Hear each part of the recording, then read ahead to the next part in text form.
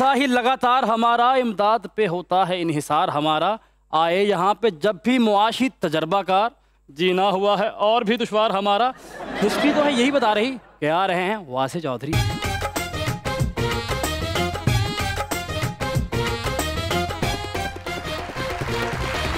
देखती आँखों सुनते कान और धड़कते दिलों। आप सबको हमारी तरफ़ से अस्सलाम वालेकुम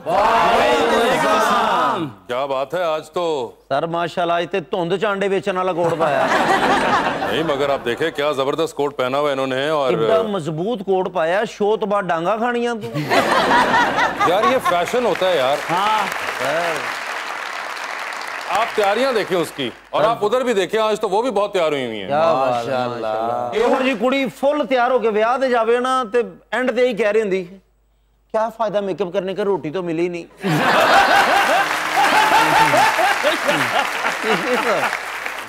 मैं एयरपोर्ट पे जीएम लगी हुई हूँ। अच्छा।, अच्छा। वो मैं एक बार चोरी जाके वेख्या तो जहाजा दया टायर दया चेक कर दी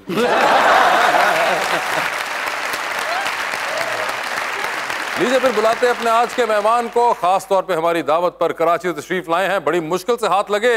अभी रिसेंटली नेटफ्लिक्स सीरीज़ क्राउन के अंदर अपेयर हुए और इसके साथ ही उन्होंने वहाँ की इंडस्ट्री के अंदर भी अपना खाता खोल दिया। पाकिस्तान में तो पहले ही सुपरस्टार होते हैं। अब बात वहाँ तक पहुँच चुकी हुई है। द वन एंड ओनली जनाब Humayun Saeed.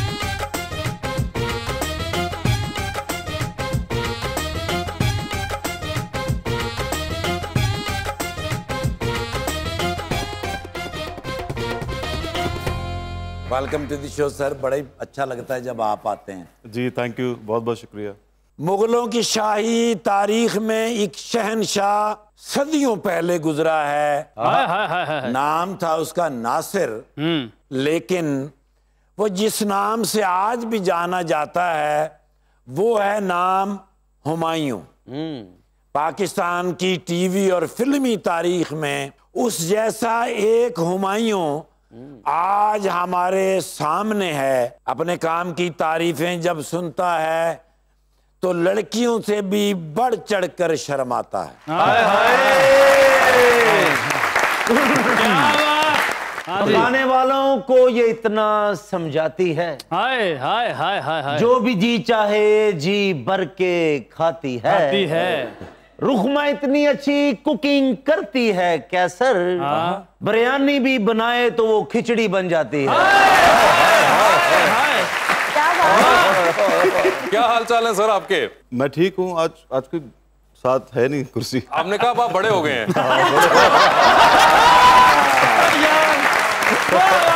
मैं तो क्या दूसरा सोफा रख दो लता रख के बह जाएँगे।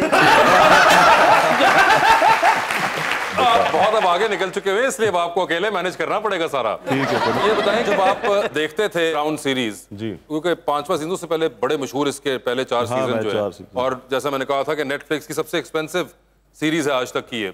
तो जब ये कोई पहला दूसरा सीज़न आपने देखना शुरू किया था तो कभी आपके जहन में आया था कि कहीं मैं भी अंदर कहीं होऊँगा। नहीं बिल्कुल नहीं आया वो जब मुझे ये ऑफ़र आई मुझे यकीन ही नहीं था कि मैं कभी इसके पाँचवें सीज़न में होऊँगा। क्या बात- यकीन तो मुझे- आपको मुझे- मुजाकरत में आने का भी नहीं था।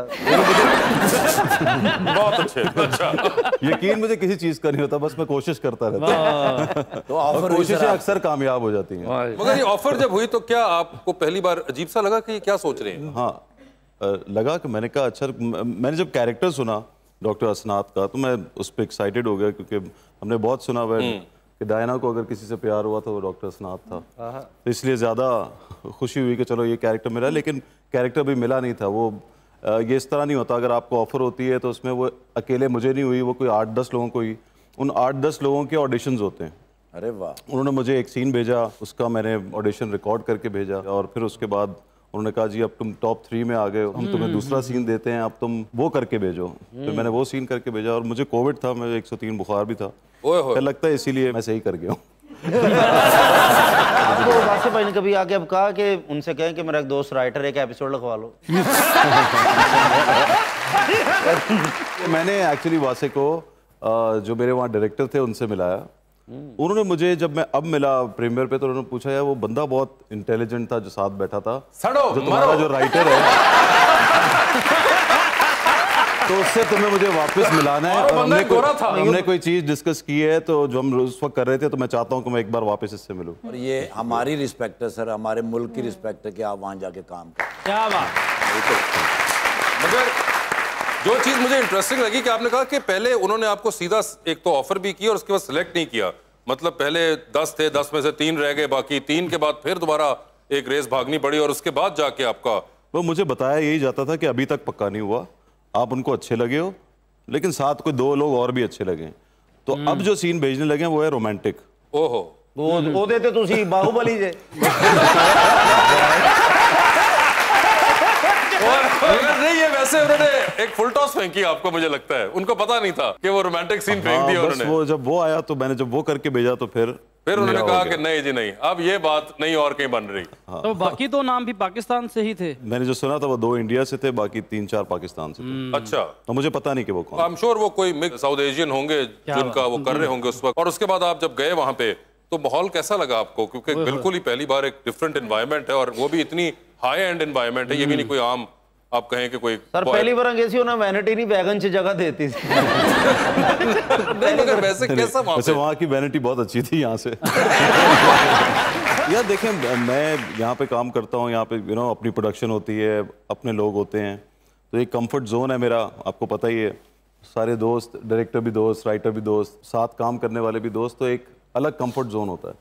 लेकिन वहाँ पे अब सब लोग नए थे ऊपर से गोरे बड़ा एक उर्दू मीडियम टाइप बंदा हूँ। तो मैं घबराया हुआ तो था नर्वस था। लेकिन खैर मैं अपने काम पे भी नर्वस होता हूँ चाहे मैं जितना कंफर्टेबल हूँ। मैं नर्वस था तो मैंने जो लड़की थी जो मैं मेरे से पहली बार मिली छः फुट तीन इंच की थी ये तो वो जो खातून डायना बनी हाँ जो डायना बनी है शी सिक्स फीट थ्री छः तीन हाँ मुझसे तीन इंच ऊपर है। आपसे भी तीन इंच? ओए होए होए वैसे ही मैं यूँ रहता हूँ। तो जरा सा यूँ करके खड़ा हुआ तो फिर बराबर आ गया। किसी हद- तक। तो उसको मैंने कहा कि मैं थोड़ा नर्वस हूँ। तो कहती है कि तुम्हें नर्वस होने की ज़रूरत नहीं है और यू नो हम सब लोगों को तुम पसंद आए हो तो तुम क्यों नर्वस हो रहे हो? क्या बात। तो मैंने कहा चलो मुझे शायद कंफर्टेबल करने के लिए कह रही है।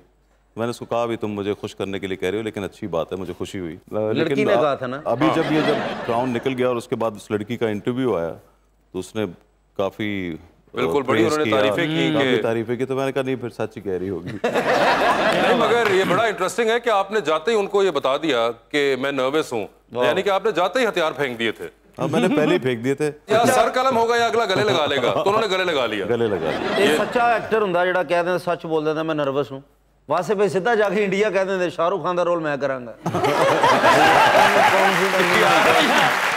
तो वैसे आपने ये खबर बड़े से छुपाए भी रखी है हमने देखा बहुत से वो इंटरव्यूज सबसे में ज्यादा मुश्किल काम था लोग यार। आपसे पूछते थे वो मना मुख्तलिफ- किया हुआ था कि आपने बोलना नहीं है कुछ नहीं बोलना कुछ नहीं बोलना वो आगे से लोग पूछ रहे हैं क्राउन में सुना है आप मैं चुप यूँ शक्ल देख रहा होता था। आपका एक बीबीसी का इंटरव्यू था जो कि पंद्रह मिनट का था जिसके अंदर उन्होंने तेरह मिनट आपसे सिर्फ़ इसके बारे में पूछा हाँ, था। हाँ वो हालाँकि मैं लंदन जाऊँगा कि प्रमोशन कर हाँ मगर उन्होंने कहा कि नहीं हमें सिर्फ़ आप ये क्राउन के बारे में बताइए। हाँ, उन्होंने क्राउन के बारे में आप बारह की। तेरह मिनट टैकल करते रहे थे कि हाँ मैं घुमा के। फिरा के कुछ ना कुछ बताता रहा। खैर उसमें ये तो पता चल गया था कि मैं हूँ क्राउन हाँ मगर फिर भी आपने अपने मुँह से नहीं माना। हाँ मैंने कहा मैं ज़्यादा बातें नहीं कर सकता हाँ। कुछ लेकिन ये कि मैंने कुछ सेट के बारे में बताया था कि मैं इसी तरह की बात है जो मैं अभी कर तो वैसे ये जो खातून एक तो उनका नाम इतना मुश्किल है मुझे याद नहीं रहता है डिबिकी डिबिकी ओके डिबिकी मैं डिबिचकी बोलता हूँ हाँ डिबिचकी कुछ लोग डिबिचकी भी बोलते हैं बिकॉज़ ऑस्ट्रेलियन नाम है अच्छा, वैसे तो। एलिजाबेथ जो है आपने उनको कोई दावत दी पाकिस्तान आने की कि आप भी आपने कोई अपना काम दिखाया उनको? हाँ उसको मैंने वो पंजाब नहीं जाऊँगी के गाने दिखाए थे। अच्छा आप उस पे ये जुल्म करते रहे। उसको बहुत पंजाब नहीं जाऊँगी के गाने? आ, उसको बहुत मज़ा आया देख के। अच्छा तो आपने को कहा उनको मेरे पास मतलब ट्रेलर वगैरह इतना फ़ोन में हाँ। दिखा दिया तो तो उसको बहुत मज़ेदार लग रहा था। वो कह रही थी ये तो बहुत मुश्किल काम है। अच्छा तो आपने ये कि वाकई मुश्किल काम है। गानों का वाला तो वाकई मुश्किल का तुम्हारे लिए पसीने निकला।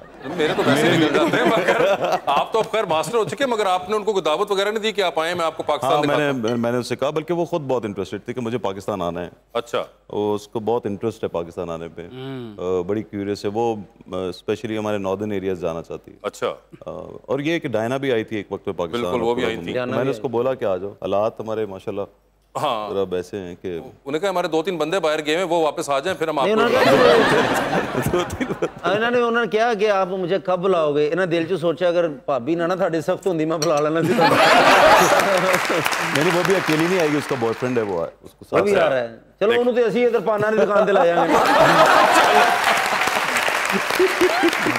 सर जी ये कोइंसिडेंस ही था कि लंदन नहीं जाऊंगा के बाद आप डायरेक्ट लंदन ही चले गए ग्राउंड में है बदो सोच के आया बड़ी गल यार उन्होंने ये कोई देखी थी आपकी ये मूवी के लंदन नहीं जाऊँगा नहीं नहीं ये तो बाद नहीं है ये नहीं देखी थी पंजाब नहीं जाऊँगी के कुछ सीन्स वगैरह देखे थे उन्होंने क्या बात लंदन नहीं जाऊँगा नहीं उन्होंने देखी ऑडिशन के बाद उन्होंने मंगवाए थे कुछ क्लिप्स मायो रिसेंटली शान सर ने आपकी फिल्म्स पे कमेंट किया इधर नहीं जाऊँगी उधर नहीं जाऊँगी से निकलेंगे तभी हमारी फ़िल्म इंडस्ट्री प्रॉस्पर करेगी जिसके रिप्लाई में आपने कहा कि इधर भी जाएँगे उधर भी जाएँगे और जरार फ़िल्म भी देखने जाएँगे। हाय तो लेकिन मेरे इस ट्वीट का मतलब ये था कि मैं जो यहाँ नहीं जाऊँगा वहाँ नहीं जाऊँगा टाइप फ़िल्में छोड़ूँगा नहीं लेकिन मैं जरार टाइप फ़िल्में भी बनाऊँगा। बहुत ठीक है ये मेरा जवाब था और मैं बेसिकली मैं एक सुबह उठा मुझे उस दिन शान की फ़िल्म के लिए ट्वीट करना था मुझे टच बटन के लिए भी करना था। तो मैं करने ही वाला था कि वो मैंने एक- किसी ने मुझे भेजी वो कि शान ने इस तरह बोला है। तो मैंने कहा ये तो बहुत अच्छी बात है।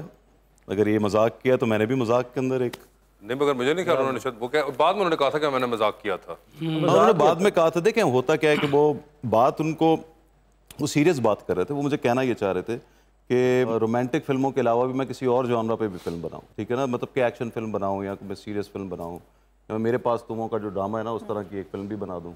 हो सकता है वो इस तरह की बात करे थे और मुझे लगता है कि वो यही कह रहे थे। लेकिन उन्होंने जो ये बात है कि इधर नहीं जाऊँगा उधर नहीं जाऊँगा जैसी फ़िल्मों से निकलना चाहिए तो वो एक मजाकन कहा था। सर, तो मैंने मज़ाक में जवाब दे दिया। आप अच्छे फनकार हैं और हर काम आप कर सकते हैं लग मेहरबानी से। जो सिर्फ़ एक तरह का काम कर सकता है ना वो दस साल से फिर हमारे पास ही रहता है।